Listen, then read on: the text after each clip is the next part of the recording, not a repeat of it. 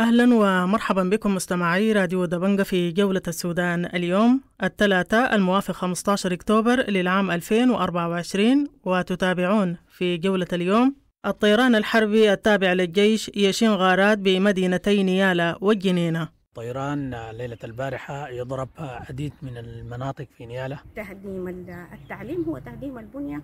التحتية لأنه أساس الحياة كلها هي التعليم. وبدون التعليم لا يكون حياة.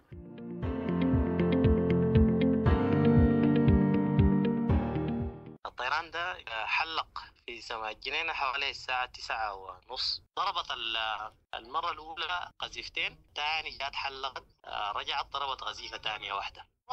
ما في أضرار ونطالب المجتمع الدولي وعلى رأسه مجلس الأمن بضرورة اتخاذ تدابير جادة بحظر الطيران في السودان ومحاسبة المسؤولين عن تلك الهجمات.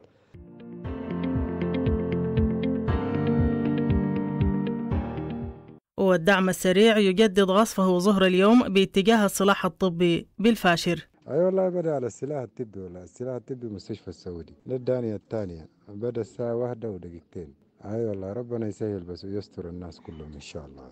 أي أيوة والله واحدة ودقيقتين.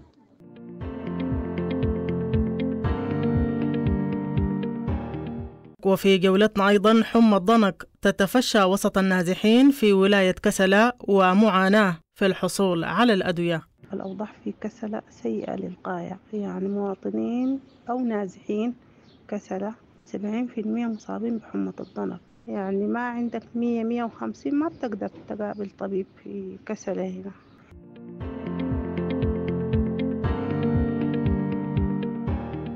وجولة السودان ترصد تأثير قرار قوات الدعم السريع بوقف صادرات السودان نحو مصر على التجار المحليين في ولايات دارفور. طيب بخصوص القرار الصدر من قوات الدعم السريع في ولاية دارفور بخصوص بعض السلع النقدية وخروجه من الولاية هذا القرار يعني له بعض السلبيات والأضرار التي تترتب على هذا القرار.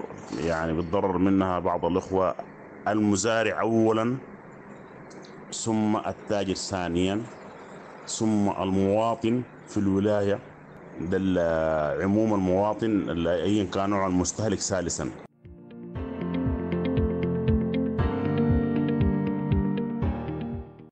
وتتابعون أيضا البرهان يبحث مع وزير خارجية جيبوتي عودة السودان إلى منظمة الإيجاد الزيارة الهدف منها هو إنه إعادة السودان إلى الايجاد عشان الايجاد يكون عندها دور.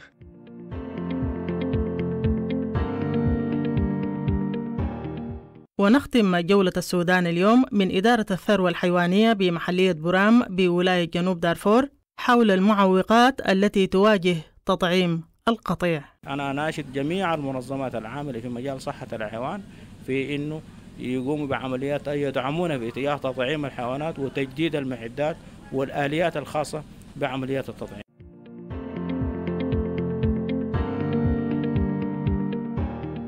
كانت تلك أبرز موضوعات جولة السودان اليوم ومعا إلى التفاصيل. راديو دبنجا راديو دبنجا راديو دبنجا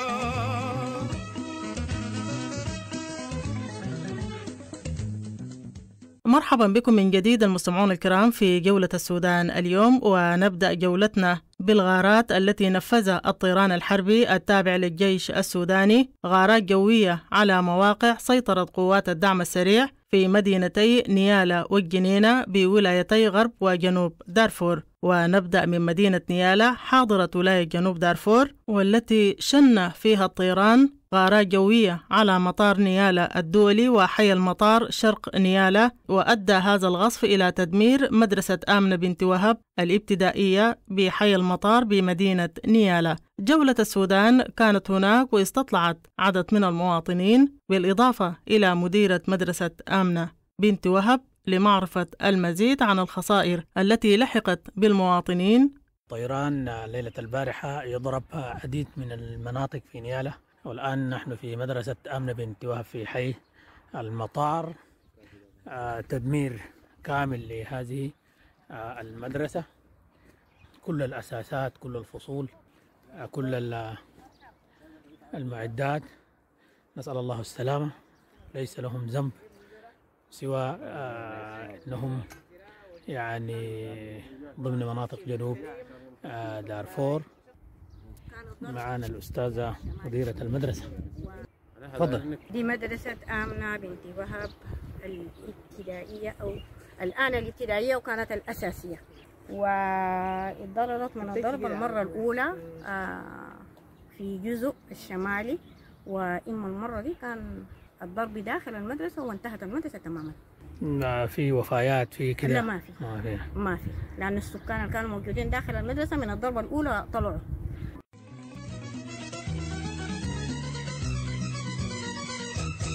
وننتقل إلى مدينة الجنينة حاضرة ولاية غرب دارفور والتي يسيطر عليها الدعم السريع حيث حيث شن الطيران الحربي التابع للجيش غارة جوية استهدفت مطار الجنينة وتسببت هذه الغارة في هلع وسط المواطنين مما أدى إلى خروجهم من منازلهم والبقاء في الشوارع الرئيسية حتى الساعات الأولى من صباح اليوم. جولة السودان التقط الصحفي علاء الدين بابكر لمعرفة المزيد عن الأوضاع في الجنينة. الطيران ده حلق في سماء الجنينة حوالي الساعة تسعة ونص. كانت بعيدة شديد. في السابق كانت بتجي في مستوى بتاع ارتفاع أقل. المرة دي كانت بعيدة وطبعا خلاص أخذنا معرفة أصوات الطائرات. دي صوتها ناعم حبة يعني مختلفة عن الطائرات اللي كانت بتجينا. في السابق كان بتجينا يعني طائرات كان صوتها خشن شديد ومرعبة أكثر من دي كأنها آه، طيارة مدنية. واضح إنها طيران متقدم. ضربت شرق الجنينة تحديدا المنطقة الواقعة شمال شرق مطار الشهيد سبيرة. يعني مطار الشهيد سبيرة جغرافيا هو شمال شرق الجنينة وضربت شرق المطار. واضح إنه المستهدف المطار. ضربت ال- المرة الأولى آه، قذيفتين نعم. والثاني جات حلقت آه، مرة ثانية بعد خمسة أو ستة دقائق بالكثير آه، رجعت ضربت قذيفة ثانية واحدة. آه، ما في أضرار ما في ما في أضرار مكان اللي ضربت فيه بعيد آه، في منطقة خالية من الناس لأنه المطار نسبيا هو برضه بعيد من ال- المدينة. بالتأكيد الطيران أحدث رعب ما عادي. الناس كانت يعني خافت شديد من صوت الطيران.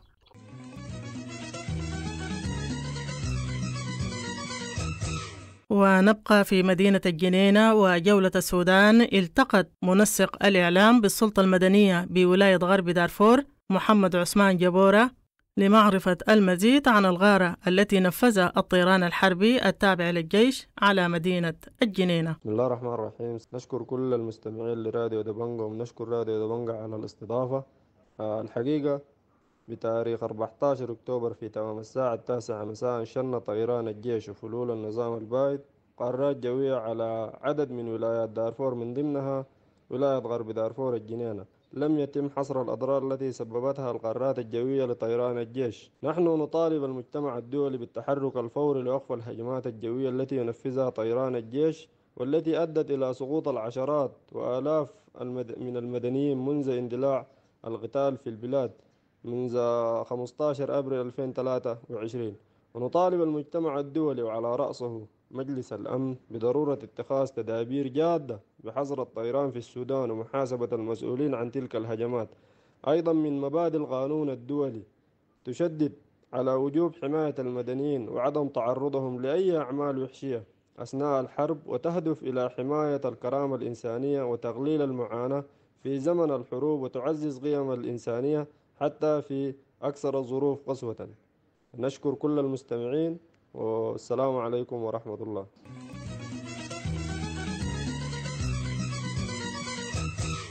ومن حاضرة غرب دارفور الجنينة ننتقل إلى حاضرة شمال دارفور الفاشر حيث جددت قوات الدعم السريع غصفها ظهر اليوم باتجاه مستشفى السلاح الطبي والمستشفى السعودي جولة السودان. التقت أحد المواطنين لمعرفة الأوضاع هناك يوم أمس واليوم.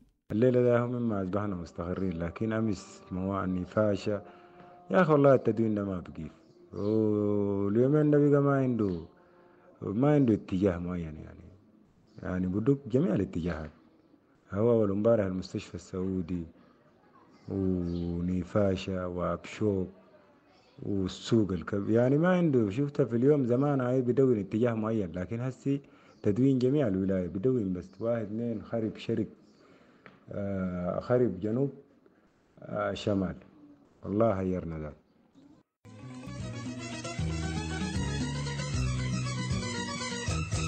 مرحبا بكم من جديد المستمعون الكرام في جولة السودان اليوم وننتقل إلى ولاية كسلة والتي تتفشى فيها حمى الضنك وسط النازحين. جولة السودان التقت إحدى النازحات في ولاية كسلة والتي حكت معاناتها مع حمى الضنك والحصول على الأدوية. الأوضاع في كسلة سيئة للغاية يعني مواطنين أو نازحين كسلة سبعين في المية مصابين بحمى الضنك ثلاثين في المية سكان كسلة بيكونوا اتصابوا السنين الفاتت يعني حمى الضنك هي ما بتجي إلا لزول الجدا دخيل في كسلة هنا. آه لما انت تجي تمشي المستشفى أو تأمين التأمين بيكون مليان مليان يعني مرضى. لما تجي تطلع تمشي مستشفى أو تقابل طبيب تقابله بعشرة. آه بعدك بتعمل الفحوصات بتاخد الدواء. يعني غرابة خمسين ستين. مثلا لو انت رقدت في مستشفى خاص اليوم باتنين وسبعين ألف.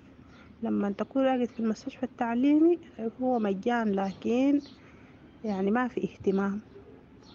ما في يعني ما في كوادر بس آه يجوا الممرضين يدوك دريب يدوك حقنة كل تمانية ساعات يمشوا يخلوك متاحيت بعدهم على عليهم عملوه كل تمانية ساعة يجوك.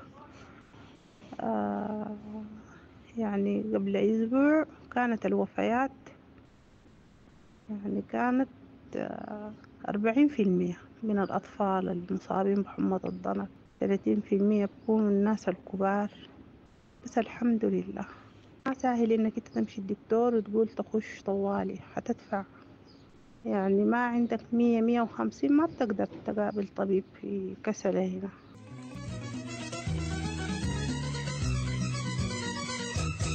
مرحبا بكم من جديد المستمعون الكرام في جولة السودان اليوم. وفي هذه المساحة مرصد ردود الفعل حول قرار قوات الدعم السريع بوقف صادرات السودان نحو مصر. جولة السودان التقت محمد توم رئيس الغرف التجارية السابق بمدينة نيالا لمعرفة تأثير هذا القرار على التجار في ولايات دارفور. طيب بخصوص القرار الصدر من قوات الدعم السريع في ولاية دارفور بخصوص بعض السلع النقدية وخروجه من الولاية هذا القرار يعني له بعض السلبيات والأضرار التي تترتب على هذا القرار. يعني بتضرر منها بعض الإخوة. المزارع أولا ثم التاجر ثانيا ثم المواطن في الولاية. ده عموم المواطن أيا كان نوع المستهلك ثالثا. كيف المسألة دي؟ الحراك بتاع المحاصيل بيعمل دورة اقتصادية في ظل الأزمة حقة الحري وصعوبة الطرق وصعوبة الوصول لمناطق التسوق. قبل هذا القرار كانت ذاته في مشكلة وفي يعني عوائق بتعوق المسألة دي وبترفع التكاليف على المواطن في ولاية دارفور. هذا القرار له سلبيات من ضمنها أول حاجة يعني في ظل هذه الظروف يساعد على تهريب هذه السلع إلى الدول الجوار مثل أفريقيا الوسطى وتشاد وقد حصل يعني عندما كان الطريق يعني مفتوح قبل ما تخش قوات مشتركة بين أفريقيا ولا بين تبع تشاد هذه المحاصيل تدخل تشاد ومن تشاد تتهرب بالحدود الحدود تقريبا الشمالية مع الحدود الليبية. وتهرب لبعض دول الجوار من ليبيا ومن مصير وللسودان وكده. فدي يعني دي دورة كبيرة جدا جدا. مهما كانت التكلفة نسبة لأزمة هذه المحاصيل الاقتصادية وجودتها والسوق دايرة بيتهرب لكن هذا القرار لم يحالف الصواب نحن بنقول لأنه المواطن البنتج في ولايات دارفور في أحوج ما يكون لاستبدال هذه السلع النقدية بمواد غذائية رغم كلفة الترحيل العالية. فلما يمنع تماما فيعني يعني فهذا هو يعني باعتباره زي ال- الحكم حق الإعدام ال- ال- ال- ال- البطيء على كل المواطنين من صغار المنتجين من المواطن من العمالة. حتكون في ال- الولاية في يعني ارتفاع عالي جدا جدا في المواد في اسعار المواد التموينية. فالسلع التو... ال- ال- ال- التي منعت الاتجار فيها من السلع الزراعية والمواشي إذا كانت عدم دخولها لليبيا ولا عدم دخولها اتجاه ال- الولايات الشمالية فده بيأثر سلبا على على إنسان هذه الولاية في ظل ظروف هذه الحرب فلذلك إحنا بنحسب يعني هذا القرار آه، الصدر آه، من الدعم السريع. قرار لم يحالفه التوفيق. ونتمنى رأفة بمواطن الولاية. وما يعانيه أن تنظر آه، الجهات التي أصدرت هذا القرار وتسمح بانسياب حركات هذه السلع.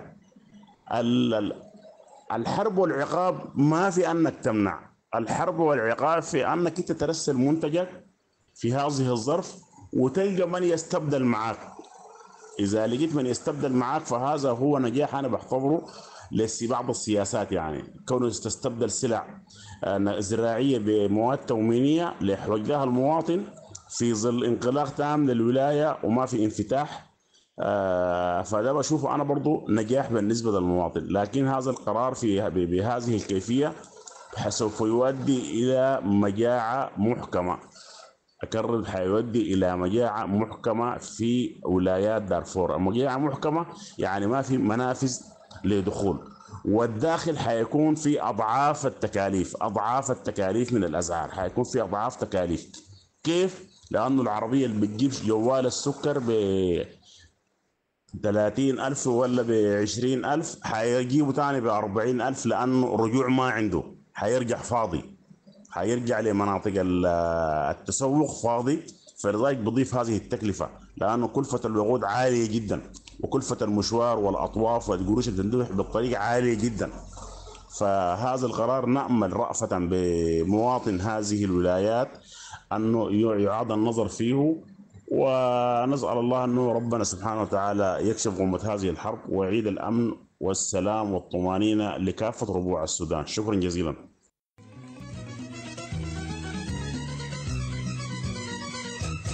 مرحبا بكم من جديد المستمعون الكرام في جولة السودان اليوم وفي الشأن السياسي وصل وزير خارجية دولة جيبوتي أمس الاثنين إسماعيل عمر قيلي الرئيس الحالي لمنظمة الإيجاد في زيارة إلى مدينة بورسودان تتعلق بالعلاقات الثنائية وسبل تعزيزها وأوضح وزير الخارجية السوداني حسين عوض في بيان صادر عن مجلس السيادة أن اللقاء تناول إمكانية عودة السودان إلى منظمة الإيجاد مشير إلى نقاش مطول دار بين البرهان ومبعوث الرئيس الجيبوتي حول الأخطاء والمنعرجات السلبية التي اتخذتها الإيجاد تجاه الأزمة في السودان. جولة السودان التقت السفيرة مها خضر للتعليق على زيارة وزير الخارجية الجيبوتي إلى بورسودان يوم أمس.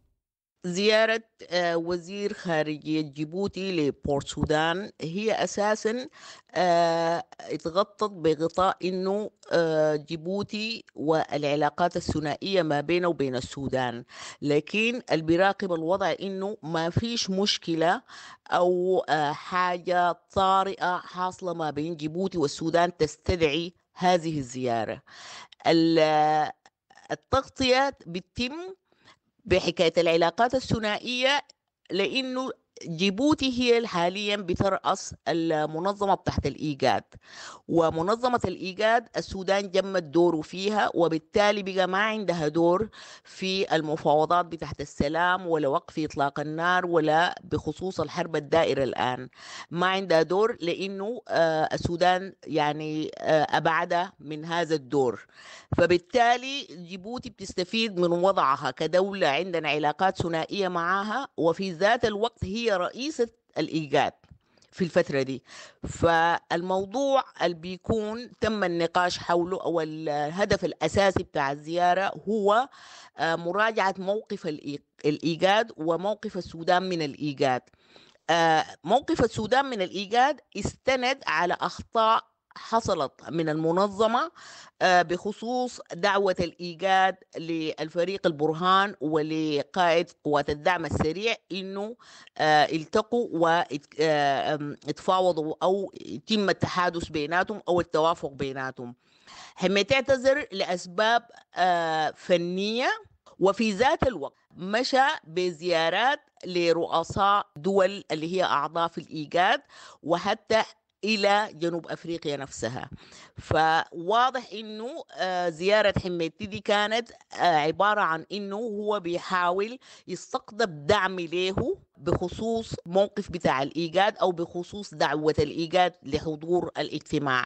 الجانب بتاع البرهان بيعتبر طبعا دي فيه نوع من الإخلال بتاع آه إنه حميتي عنده الفرصة يستقطب رؤساء الدول دي عشان ما يقوي موقفه داخل الإيجاد نفسها دي ناحية. الناحية الثانية اللي هي الدعوة بتاعت رؤساء الدول اللي دعوا لها فريق البرهان باعتباره آه رئيس المجلس ال- الانتقالي وكده ف برضو دعوا آه، حميتي لنفس الاجتماع ومعاه برضو الأمارات اللي هي ما حضرت الاجتماع لكن كانت موجودة كحضور. فدي من المخالفات اللي هي دعت إنه الجانب بتاع آه، ال- الحكومة في بورسودان إنها تاخذ موقف من ال- الإيجاد وجمدت دورة في ال- الإيجاد وكده.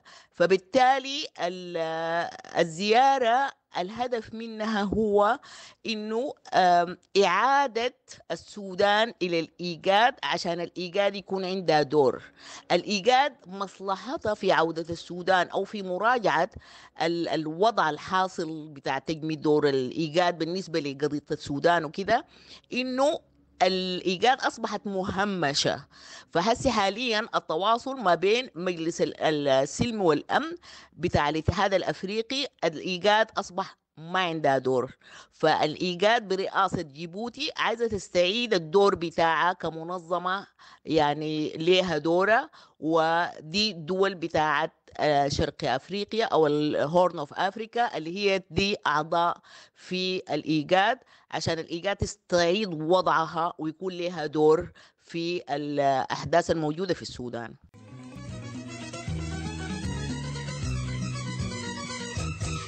ونختم جولة السودان اليوم من محلية برام بولاية جنوب دارفور وجولة السودان التقى الدكتور محمد نصر أحمد من إدارة الثروة الحيوانية بمحلية برام للوقوف على المجهودات التي بذلتها الولاية لتطعيم القطيع. آه بسم الله الرحمن الرحيم. دكتور محمد ناصر أحمد ال- إدارة الثروة الحيوانية محلية برام حقيقة في الفترة اللي فاتت دي بالتعاون مع الجهات عده قمنا بعمل ما شاء الله كبير جدا في تطعيم 70% من القطيع الموجود آه في محلية برام أو في المنطقة الجنوبية بشكل عام. وبما إننا يعني منطقة متاخمة للجنوب السودان وإفريقيا الوسطى وغالبية الماشية اللي بتأتينا في الشمال في فترات محددة وبالتالي كان نحن همنا إنه بالضرورة الأمراض اللي متوفرة عندنا هنا أو الأمراض المستوطنة نقوم بعمل تجاهها آه، أيا كانت. فبالحمد لله رب العالمين مع جهود الإخوة في إدارة الثروة الحيوانية بالولاية وأخواننا في معمل الأبحاث قمنا بعمل متكامل في تطعيم 70% من القطيع. ولكن هذا العمل ما كفاية. يعني المطلوب في خريف هذا العام بالذات إنه خريف ما شاء الله يعني أمطار غزيرة جدا. وبالتالي حيكون في نواغل كبيرة جدا للأمراض وفي حشرات كثيرة جدا كانت في الفترات السابقة غير متوفرة. الآن بنعاني من كمية من الحشرات يعني ونواغل الأمراض وبالتالي نحتاج لجهود كبيرة جدا من المنظمات. آه، ما نعانيه في الثروة الحيوانية حقيقة أول حاجة قلة ال- القوى العاملة بالإضافة للإهلاك الكامل لغالبية ال- المواد المستخدمة في عمليات تطعيم ال- الأبقار بالإضافة إلى ما فقدناه من معدات جراحية ومعدات آه، يعني معينات للعمل آه، في هذا القطاع. وبالتالي شغالين بجهد المقل يعني بعمل زي ما قال معظم الأشياء اللي عاملين بها دي حصل لها إهلاك لأنه فترات طويلة جدا ما جانا يعني تجديد للحاجات دي وكان في العادة سنويا بيتم تجديد. المواد المستخدمة في عمليات التطعيم والمواد المستخدمة في الجراحة المواد المستخدمة في العيادة. بالإضافة لأنه العمليات بتاعت الإرشاد البيطري العمليات بتاعت الإنتاج الحيواني العمليات بتاعت ال ال ال العمليات بتاعت تحسين النسل. الأشياء دي كلها الآن وقفت ما ما ما شغالة. وبالتالي لنا حوجة كبيرة جدا في تجديد الكلام ده بالتعاون مع المنظمات العاملة في مجال صحة الحيوان. ودي مناشدة. أنا بقدم مناشدة للحيوانات العاملة أو المنظمات العاملة في مجال صحة الحيوان في أنهم في هذا العام بالذات يقوموا بعمليات تطعيم إضافية في الفترة القادمة دي. وبالذات بعد يعني فترة الجفاف دي أنا بناشد الإخوة في المنظمات في إنه نحن في حوجة ماسة لتطعيم القطيع بتاعنا ده لأنه قطيع متاخم لدول الجوار. وبالتالي بالضرورة يكون هذا القطيع سليم وبالتالي بيحتاج لمجهود كبير جدا في عمليات التطعيم لكامل القطيع. نحن الآن قمنا بمجهود تقريبا ما بين 50% ل 70% لكن ما كل القطيع ده يطعم لأنه التكلفة بتاع التطعيم عالية ومعظم المواطنين الحرب ده أفقروا ومعظم الملاك برضو بيعانوا من أشياء آخرة. يعني صرف عالي جدا وبالتالي يجب أن يتم أو دعم للقطاع الرعاة ده. كويس حتى يتمكنوا من الإنتاج.